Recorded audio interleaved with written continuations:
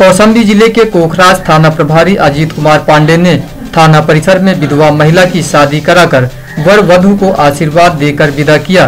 बताते चले कि कोखराज गाँव की सुनीता देवी की शादी काकराबाद गाँव के रहने वाले राजेश कुमार के साथ पाँच वर्ष पहले हुई थी, जिसके चलते पति की मृत्यु हो जाने के बाद सुनीता देवी अपनी छोटी बच्ची के साथ ससुराल में रहने लगी।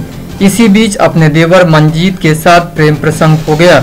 दोनों लोग पति पत्नी की तरह रहने लगे। लेकिन कुछ दिन बाद मंजीत ने शादी करने से मना कर दिया। वहीं पीड़िता ने थाना कोखराज में अपने देवर के खिलाफ शादी न किए जाने की शिकायती पत्र दिया, जिसको थाना प्रभारी अजीत कुमार पांडे ने अपने संज्ञान में लेते हुए दोनों की शादी थाना परिसर में कराकर वर वधु को आशीर्वाद देकर विदा किया। थाने परिसर में ग्राम प्रधान सहित तमाम लोग मौजूद रहे। Bureau report, Kaushambi.